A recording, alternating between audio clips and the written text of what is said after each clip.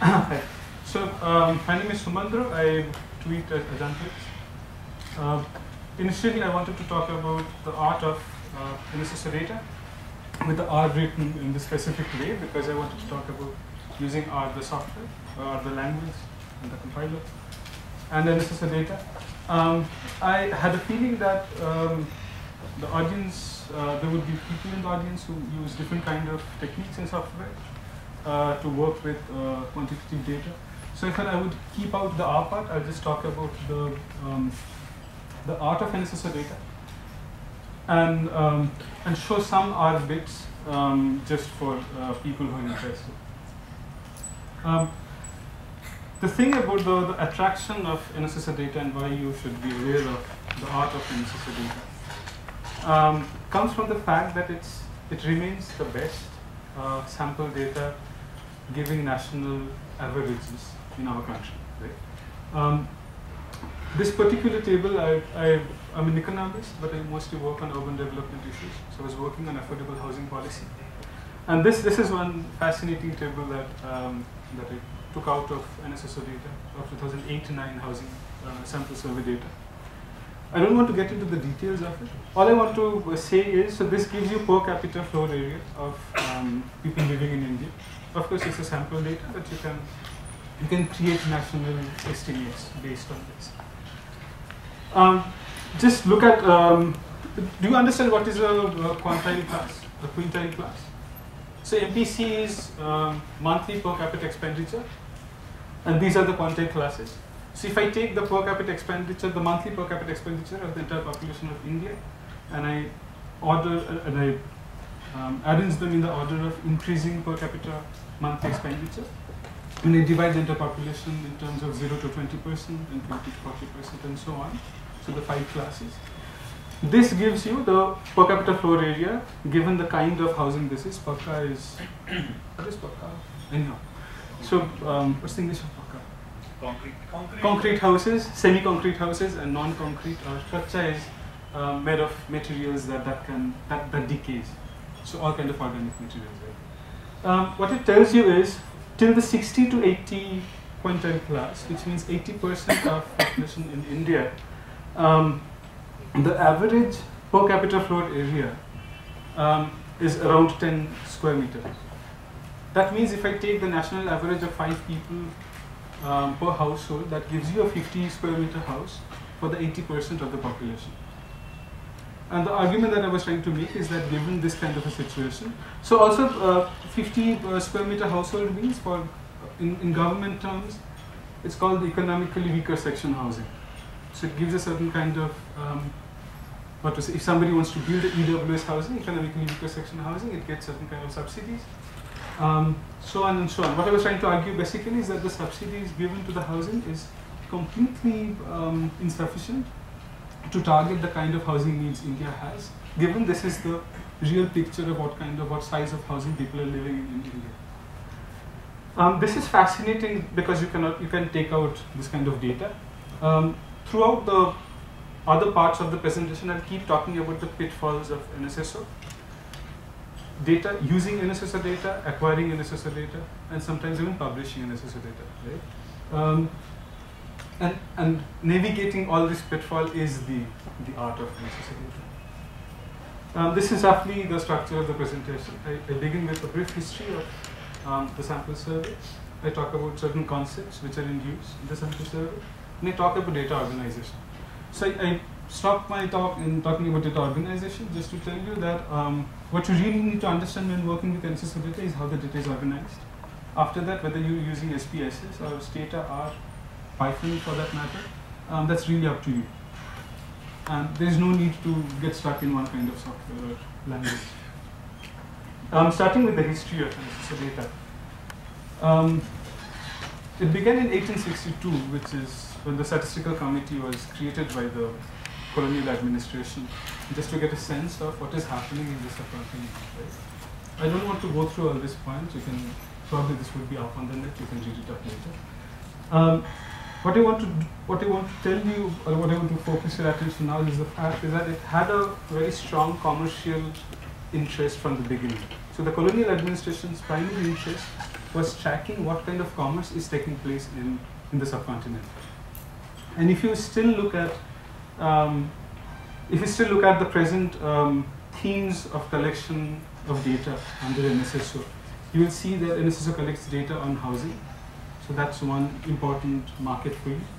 It collects data on health facilities as well as health seeking practices of individuals, which is again a big market for you.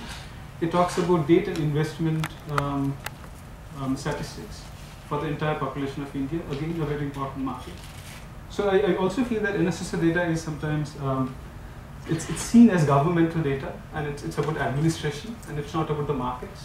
So a lot of um, market-driven analytics work usually um, not look at NSSO data, which I think is a is a, is a sad situation. Um, in 1947, oh, sorry. In 1947, of course, P.C. Mahalanobis, this is the big story. He gets appointed as honorary statistical advisor. CSU is the initial name that was given to the center that was created. It was later called the Central Statistical Organization. It's in, I mean, at the present, it's part of the Ministry of Statistics and Program Implementation. Must be. Um, for the concepts I talked about, the fact that NSSO data doesn't come, so when you go to CSO, the Central Statistical Organization, ask for data, you have to tell them what round and what schedule data you want. Okay, so round gives you um, each round is each annual collection of data by NSSO. So if you say if you go and tell them that I want the 2008-9 data on something, uh, they would rather appreciate if you say that we, I want 67th round of data. Okay, so that's how it goes. The list is there in the in the CSO uh, website, so that's not too difficult to look at. Schedule is the thematic focus. So what NSSO does is, unlike census, which is a complete enumeration on one hand, and also it is a one questionnaire every 10 years. There's some additions, but the thematic focus doesn't change. It's not that one census talks about housing, the next one talks about health facilities. NSSO, on the other hand, it's not complete enumeration, so it's only sample data. Sample data makes it difficult, not difficult, it makes it impossible for you to understand anything um, below the level of what they call the state region. So if you want district level averages, you cannot get that in NSSO, which is a major limitation. So what the state region is, okay, I'll come back to state region, sorry. So, um, so what schedule does is, schedule says that, um, so this year NSSO would undertake um, sample survey on say four different thematic areas. It's consumption, expenditure, employment, unemployment, data investment, and quality of housing. Okay, so all of these are called different schedules. There are some schedules which are repeated every five years. So, for example, consumption expenditure schedule, NSSO would do say on 60, 60th round, then again on 65th round, and these are called the thick rounds. So these are called the quinquennial surveys, or surveys that are repeated every five years. So if you want a good time series of data, you should look for the thick series. Because that is where you get every five years very good sample data. At least state level averages are perfect. It's the best you can get. I mean, it's not perfect, of course, there are data collection issues, it's awesome. There are minor rounds, or minor, not minor rounds, there are minor schedules, which are called the thin rounds. These are the schedules which are not um, repeated in such a regular frequency. So for example, 2002 was one housing uh, schedule, 2008-9 was another, and we don't know when the next will be. So there was a 96, there was 2002, there was 2008-9. So roughly a six-year cycle, but it's still it's uh, it's it's not so regular, and you and the, the the bigness of the sample is also limited. So so thick are, are the are the major schedules, thin are the minor schedules. I was already talking about state region. State region is a cluster of districts within each state. So each state is carved up between usually three to four state regions. And at the state region level, at the level of aggregation of three or four districts, NSSO sample survey gives representable statistics, not below that. So that's another question often comes up that whether NSSO can tell me about the city of Bangalore. It really cannot. It can tell you about Bangalore urban, Bangalore rural, a couple of other districts as a total. Right? Um, is this watch what I should be looking at? Sure. Is this watch what I should be looking at? Oh, yeah. Okay. Sorry? You'll tell me. Okay. Um, so the fixed width data format is again, I mean the the, the concern with um, NSSO data. So I'll, I'll, I'll show you uh, one sample just to make it clearer. So this is what NSS editor looks like, okay? It's really not very pretty. Uh, anybody who work with the census data here?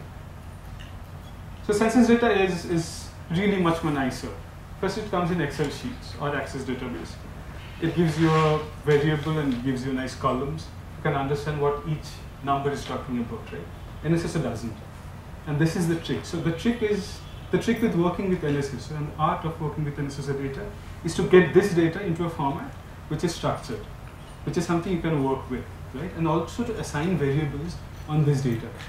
Because the raw data itself doesn't come with the variables. So this format is called um, what? Just a second. Okay. So this format is called the fixed width data format. What it does is each row has a fixed width. Okay. So say it has a width of 150 characters. So each width can only take 150 characters. Again, this uh, peculiarity of the data, you should read it in, in the, through the history of NSSO data. NSSO is not something that started happening 10 years back. It started happening 50 years back. And the, the data handling capabilities then were severely limited and had to be done manually. And then again, the early computer and so some, somehow there are huge lot of hangovers coming from such technologies, such data technologies into the present practice of data. So the schedule file gives you the questionnaire for that schedule. So if the survey was about housing, the schedule file will give you the full questionnaire. I'll show you one as well. The layout file tells you which questions are mapped where in the raw data that I showed you, right? So it tells you what questions, what variables, are to be found where in the raw data. So the trick is to take the layout file and the raw data and put them together and create a structured data format. Okay. Um, come to data organization, right? Now we talked about fixed width file, which is a comes in txt file. There is binary coding of information. That means it doesn't have yes no. It wouldn't have um, the person's state is say Karnataka, it would have the person state is number 27. So the entire is in, in terms of numbers, it, there is no, there's no words and alphabets involved. There are a list of supporting files which tells you about um, how to go through, how to work with that data. So the schedule file I talked about, that's the question. The layout file tells you where the variables are in the data set. The README file gives you some more um, information. Usually what it tells you is that if there are say five data files, what they do is they basically um, categor not categorize, they divide up the entire data in terms of number of states. So it tells you which data file has the data for Karnataka. So if there are five data files, one of them would have the state number 27 and it tells you that these state codes are in that data file. That's what usually the README file does. The state and district codes are very important if you're working with it. It tells you that number 273 is, uh, so Bangalore falls in number 273. So 27 is the state code, 3 is the state uh, is the region code. Together, the state region code would be 273, something like that. Um, the real difficulty comes in with the, um, again going back to what I was saying about fixed width files, is the, I, the thing about levels come in because each row has 150 characters. And the entire questionnaire cannot be coded in in 150 characters. So answer given by one person or one household has to be shown in multiple rows, right? Um, so these multiple rows are called multiple levels. So each, each uh, set of answers by one person is divided up into multiple rows. Each level is called a row. There is a variable called level which gives you number 01, number 02, 03, takes different values which you can use to understand what exactly that row is about or what part of the question that row is referring to. Right? Um, major difficulties, of course, as well, that say for, um, for all uh, schedules really, so say for consumption expenditure, there will be some questions that would be that would be at the household level, and some questions asked to each individual of the household. So if you're taking the entire schedule and you're working with 16 different um, variables from across the across the questionnaire, um, you always have to keep in mind that certain variables needs to be multiplied by the household size so that they're all comparable or divided by household size. Right? Because it can be also month, monthly per capita expenditure of the household and not the, not the individual. And you have to keep that always in mind when you're working with it. Um, what I was talking about levels, I'll, I'll try to show it in, in a simple example. So what happens is the schedule um, SIG tells you that the first question is what's the serial number of a person, right? Um, layout tells you that the serial number is coded in column 1 to 3. Uh, is this visible mostly? Yes? Okay. Um, so you know that the first three numbers in each row tells you the serial number of the person to whom this row refers to, right? Uh, please uh, ask me questions if something is not clear. Sorry? Yeah. If one individual has three or four levels, right. then uh, the first level will have the first serial number. Right. The second, third, fourth will also carry that in column 1 to 3, or this is serial numbers next to the level? Right, I'll just come to that. Yeah. So, well, yes. I'm, noticing this is kind of like the Jurassic era of uh, data representation. Sadly, Has so, someone brought it down to like the last hundred years of uh, this thing by maybe creating a database which has looked at this zoo of data and has actually translated them into SQL queryable tables or anything like that? Not yet Are there SQL. doing it? Or? Um, as for NSSO, they're supposed to start publishing, I think. I mean, we can quit expecting NSSO to do something. do so, I mean, right? if they haven't got the message by now, they won't. Well, half of that doing thing, half of making it a SQL queryable um, database, that has been done in Azim Premji University where I was working. Okay, so Uh, the part that has not been done is getting this um, structured data into a SQL database. That hasn't been done yet even there. So what we did is we took the unstructured data, not unstructured, it's fairly structured, but as you said, structured in Jurassic uh, time um, customs, right? Um, took that data and structured it in a more easy to understand way. Um, but the next part hasn't been done. So let's see if um, and that and the what question also has um, it raises concerns regarding the copyright of the data, whether somebody is actually allowed to do that. I mean, it's the government. That is not too clear. I mean, it is the government, but it's a government data product. So you cannot just take it out, um, put it in a SQL database, and make it available for others to either freely access or buy. Right. So there, there's a catch there. Um, right. So what I was saying is that so so the first three characters were about that. The second two about the age. So we know that for one to one and three four three, these two different persons, the fourth and fifth character gives their age, right? The daily wage is given by the next four columns. So this is how it would have looked like had it been there only 150 things, or 150 had ca- 150 characters been sufficient to capture the entire questionnaire, right? But sadly it doesn't. So what happens is um, there would be multiple rows. Each row about the same person would have the ID number or the unique ID number of that person in all of the rows, right? So that is fixed. So it would have one to one and one to one. So serial number would be there in columns one to three for all columns.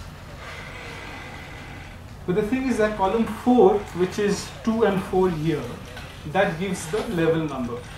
Okay. So what is the person's age is given by column five and six, which is twelve. But we have to only look at levels. We have to only look at rows with level is equal to two, as I said here, and take the columns five, six as as the age variable. Okay. What happens is if I'm and there would be another row and say the daily wage is encoded in the next row which has the code 4 so the 3434 becomes the wage though in the original data file um, the column locations are the same for daily wage and age right Um, please tell me if I need to repeat anything. Just okay? repeat a bit, you know, it was what Done. Okay, so what you have is, um, so there are multiple uh, rows about each person, right? 1, 2, 3 is the person's ID. That remains fixed throughout all rows. Column number 5 gives you, or column number 4, sorry, gives you the level number. So on the, on the right hand side of that row, how you are looking at column structures or width of columns is determined by what value that level variables is taking. Because different levels have variables of different column width. Yeah? A, a bit clear? Yeah. Yeah? So what happens is, um, so if I just go back a bit, right? Not easy to see here, but say 1 to 1 and 1 to 1, that's a serial number. 2 and 4 are the different levels, level number 2, level number 4. Then I have 1 2 1 2 and 3 4 3 4. 1 2 1 2 and 3 4 3 4 are actually talking about different variables because the level number is different. So this one two one two is in a particular box, as in a, is in a particular row of a particular column, right? Of course, yeah. Right. But in the in the raw data file itself, as I showed you here, there is no separation given to understand where a variable ends and begins. so you have a key for you know. Exactly. So what you have is so what you have is something like this. So this is the schedule file, and it's it's uh, so these are recent uh, schedule files are actually pretty easily um, parsable. So these are Excel files which with um, fixed column locations for different things. So you can actually take this and immediately create something like. Um, sorry, I don't want to show you that yet. Um, so what we do is we create something like this. I'll just uh, increase the font. So we create something like this. So we create a standard um, text file, the description and column range as two variables. So serial ID is 1 to 2, round schedule number is 3 to 6, and so on. So I take the uh, Excel file, get it into a text file, make it easy to understand what is happening in each um, each bit. Um, you want to see a bit of R? Absolutely. Yeah? Yeah. So this is the bit of R I want to show. Um, so what you do is you take a variable called codes, you read the table that I just showed, code.txt, right? Um, uh, don't even think about what is what's happening the parameters, you can work it out later. Um, then what I do is I split the range, which is say 1 to 2, using the split character hyphen. Okay, so that's again pretty straightforward. Um, I tell them what is the beginning column, what's the end column, just to understand. So the R already knows that, say the ID is, so for the for the variable ID, the beginning of the range is location one, the end of the range is location three, within the within the row, right? Um, then I create another another variable data. I read a fixed width file. This is the name of the fixed width file. Widths are given by the column width um, variable within quotes. Um, column names are given by the description variable within quotes. Um, please ask me if I need to repeat. Five more minutes? Okay, I'm mostly done. Have you published all this? Um, no, not really. okay. No. No, but I should, right? I mean, if you can, that will be useful. Right, I, I think I, I, would, I will, yeah. yeah. Um, there's some other codes which uh, really we should not be looking at right now. Um, then what we do is, um, have any everybody used uh, the R here?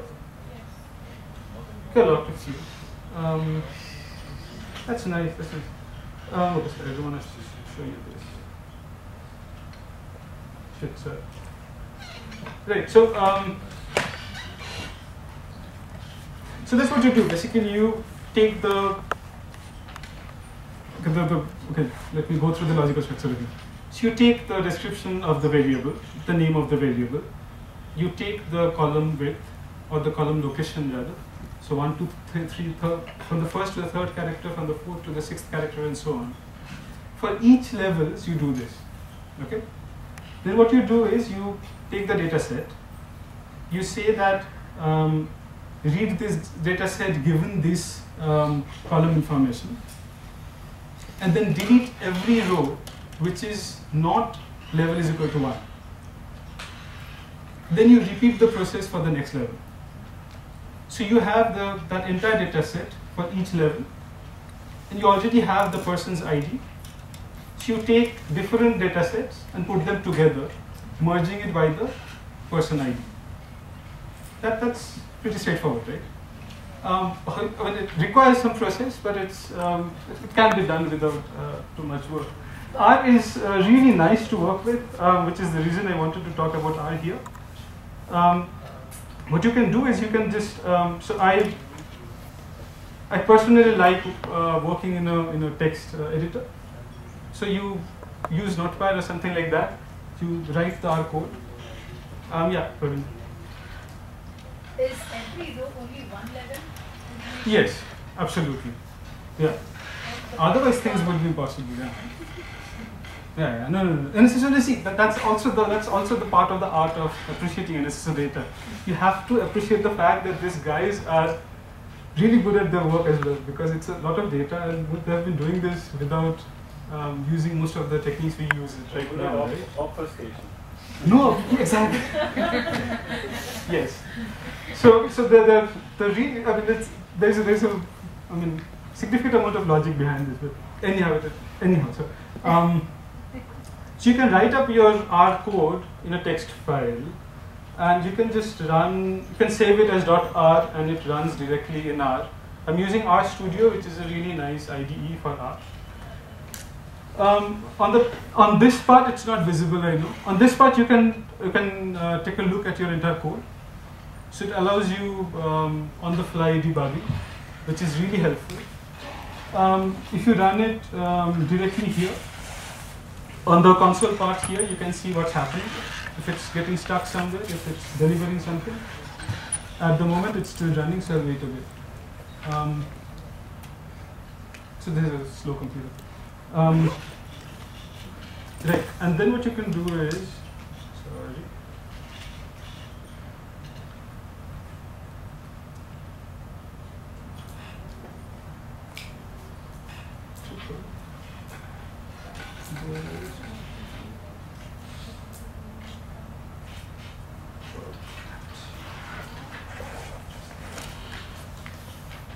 And then you can see something like this directly.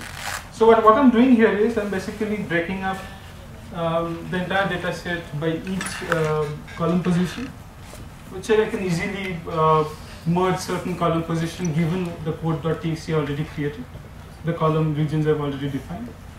Um, you can also do this and say if the column location number, say 7, is not equal to 1, then delete all the rows. Which is the same as saying that all levels which are not equal to 1 needs to be deleted. All rows with not level is equal to 1 gets to be deleted. And all is done. Right, so um, so that's about it. The, um, the last thing I want to talk about is um, there's a really nice visualization library called googleVis. Uh, which, which what it does is it, it uses the Google Chart. I'm done. Um, what it does is it takes uh, Google Charts API and uh, creates uh, Google Chart um, visualizations on the fly from R. So what it basically does, it takes the data, it, it has it uses the JSON IO library to output as JSON objects, uses the JSON object to create uh, Google views uh, on the fly. This is something we have been using. I can show um, example later.